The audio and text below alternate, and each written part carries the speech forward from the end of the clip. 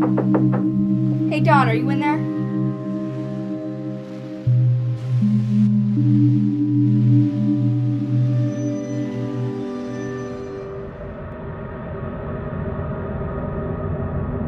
Help me!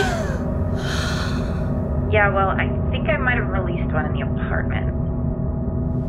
A demon.